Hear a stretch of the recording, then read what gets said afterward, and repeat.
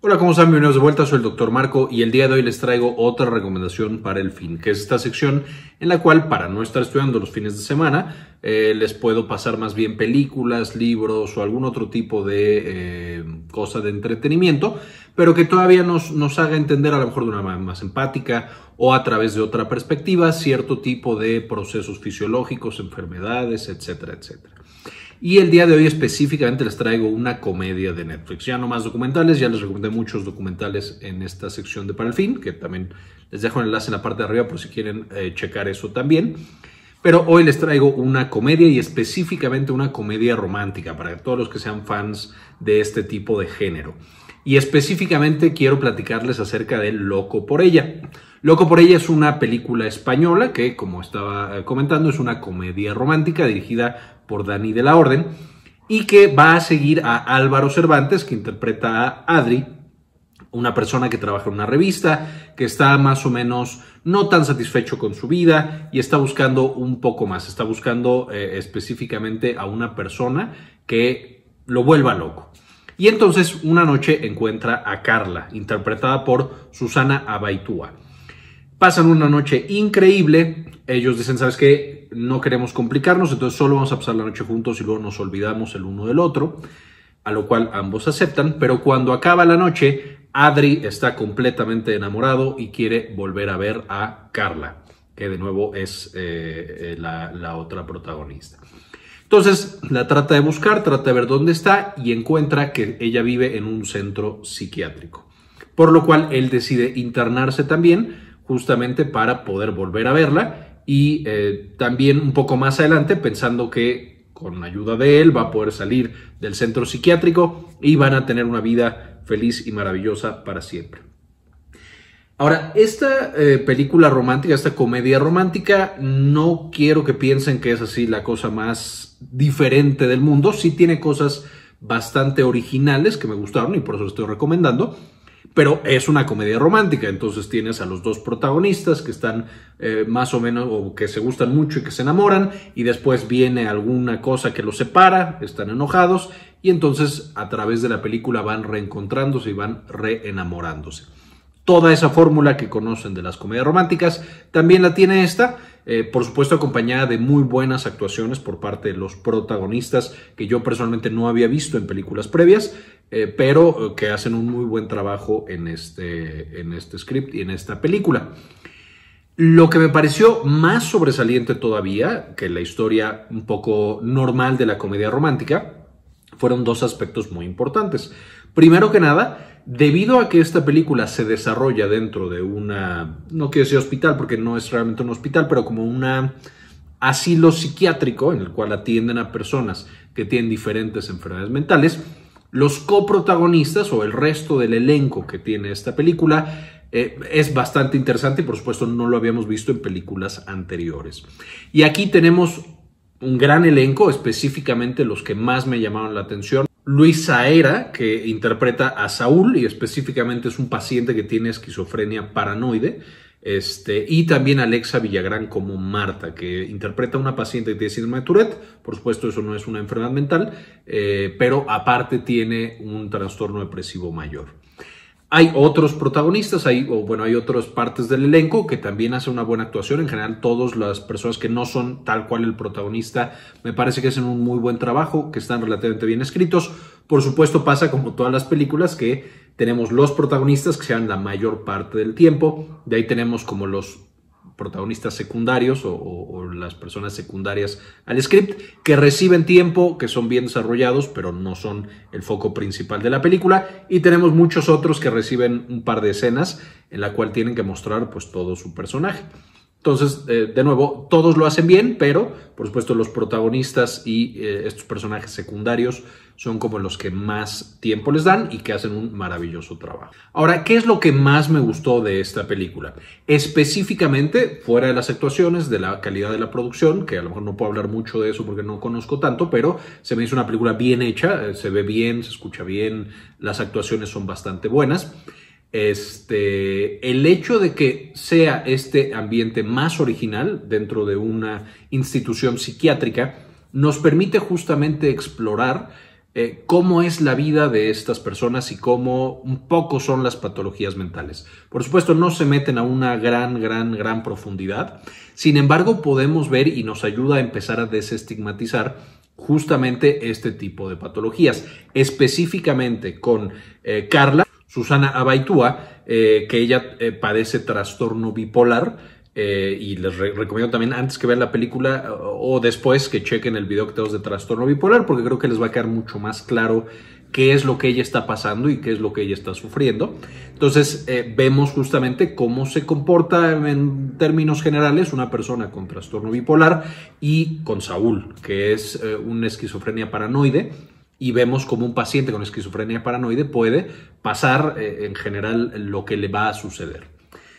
Ahora, eh, el hecho de que nos ayude a desestigmatizar y entonces nos presenten a las personas con estos, este tipo de trastornos como seres humanos que tienen intereses, que tienen gustos, que son eh, perfectamente normales fuera de su patología mental, me parece que es una muy buena manera de eh, trabajar con este tipo de temas.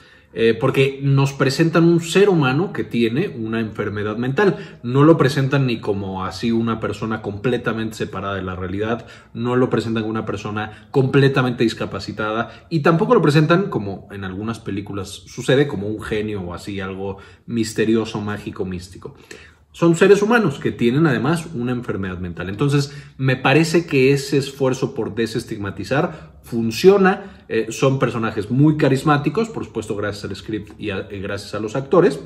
Pero por supuesto, así es como son las personas con enfermedades mentales. Tienen su enfermedad mental y además de eso son un ser humano completo, con muchas características, con su personalidad, con sus gustos, con sus eh, luchas fuera eh, o más allá de solo su enfermedad mental. Entonces, me parece que la manera en la que lo presenta la película es buena, es agradable, eh, es relativamente profunda. Ahora, ¿cuáles son las cosas que no me gustaron tanto? Primero que nada, la fórmula de la comedia romántica que hemos visto en muchas, muchas películas, aquí la siguen. Para los que les encanten las comedias románticas, les va a gustar. Eh, para los que odian las comedias románticas, esta no es la película para ustedes, porque de nuevo eh, sigue eh, esos mismos, esos mismos puntos, esas mismas escenas, esas mismas lo que pasa en la película. Ahora, la segunda cosa que no me gustó tanto, y, entiendo que estaban un poco atados de manos los, productores de esta película, pero es un poquito, tiene que ver con la realidad. Obviamente esta es una película eh, de, de comedia, entonces tiene que separarse un poquito de la realidad. Pero por supuesto aquí nos muestran cómo un grupo de pacientes están viviendo en una institución de salud mental, una institución psiquiátrica. Hace muchos, muchos años esto era muy común. Tú tenías una persona con enfermedad mental y entonces la metías a un hospital psiquiátrico a que lo tuvieran severamente medicado este, y estaban atrapados. No podían salir, no podían tener una vida normal, no podían hacer absolutamente nada. Por supuesto, eso no tiene ningún sentido. Eh, eh, las enfermedades mentales, mientras no sean extremadamente severas, el plan o, o, la idea con los pacientes es integrarlos a tener una vida lo más satisfactoria posible para ellos. Y usualmente no es estar atrapados, usualmente están en sus casas, con sus familias, muchas veces tienen trabajo, especialmente de nuevo estas versiones menos severas, de, digamos una enfermedad mental que no es grave, puede tener trabajo, puede tener una pareja, puede tener de todo. Incluso vemos un poquito en la película eh, Saúl específicamente, que tiene esquizofrenia paranoide, pero que no es tan severa, y vemos que previamente tuvo una pareja y tuvo una familia y tuvo varias cosas. Pero entonces en la actualidad cada vez estamos migrando más a que los pacientes con enfermedades mentales no estén hospitalizados, de nuevo, tengan una vida lo más normal y lo más satisfactoria posible. Como esto es una comedia romántica, entiendo que tenían que estar todos los protagonistas en un mismo sitio, como para obligarlos a que estén juntos y conviviendo y demás.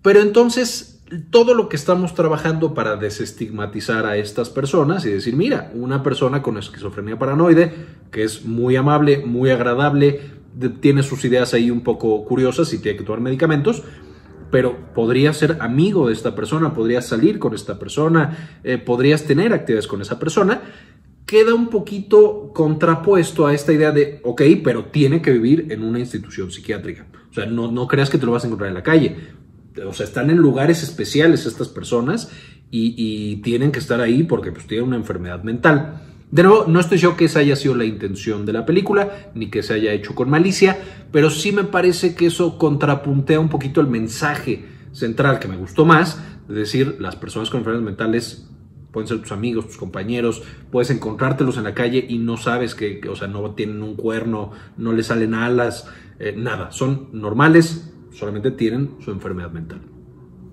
Creo que esa sería como mi principal queja de eh, eh, la película. Por supuesto, tampoco es que sea completamente separada de la realidad. Los pacientes que están hospitalizados, y lo vemos un poco en la película, es porque tienen un riesgo elevado de daño a otros o de autodaño que son un porcentaje pequeño pero existente de las personas con enfermedades mentales, especialmente cuando no se está dando el tratamiento adecuado o cuando eh, se deja de tomar el tratamiento, que en la película no exploran una razón por la cual podría pasar esto. Y finalmente, eh, este viaje que tiene el protagonista, al principio es la típica persona que le encantan las frases de autoayuda y de superación y entonces piensa en su cabeza que pues, las enfermedades mentales no existen y que si tú tienes así mucha concentración, te curas de tus enfermedades mentales y si le echas muchas ganas, desaparecen las enfermedades mentales. Y justamente con el paso de la película, esta persona, eh, Adri, va entendiendo que esto no es así, que una enfermedad mental es algo con lo que vives toda la vida, en muchos casos, eh, y por supuesto necesitas una atención médica adecuada, pero cuando la recibes, eh, tienes una calidad de vida mucho mejor. Entonces, esta transición que hace el protagonista, que por supuesto es la transición, intuyo yo, que los que hicieron la película quieren que tengamos también nosotros, los espectadores, es muy buena, pero sí me parece que es un poquito, no quiero decir forzada, pero a lo mejor hacen que funcione demasiado rápido. De nuevo entiendo que la película tiene que terminar en algún punto. Entonces, digamos, por esas cosas, a lo mejor son, son quejas pequeñas, pero me parece que el mensaje central, muy bueno de la película, queda un poquito mm, distorsionado. Esa sería mi única queja. La película es, es eh, graciosa, los, actores y los personajes son, son buenos, son carismáticos, entonces no dudo en recomendarla con estas pequeñas excepciones y comentarios eh, y por supuesto con la recomendación también de que revisen los videos si tienen tiempo de esas enfermedades mentales, justo para que vean eh, cómo los están representando en la película, qué cosas sí son muy ciertas, que me parece que hicieron un buen trabajo eh, tal cual plasmando la, enfermedad y qué cosas no son tan tan ciertas. Entonces, bueno, esta es mi recomendación del día de hoy. Si no se les antoja o no les gustan las comedias románticas, por supuesto pueden checar algunas de las otras cosas que he recomendado en esta sección de Para el Fin. Cuéntenme qué les pareció esta película, recomiéndenme otras películas para yo eh, a su vez recomendarles eh, esas películas y seguir encontrando este tipo de, de producciones y, de contenido que nos ayudan a ver las enfermedades con otra perspectiva. Con esto terminamos el video de hoy. Muchísimas gracias por ver hasta este punto. Y como siempre, ayúdenos a cambiar el mundo. Compartan la información.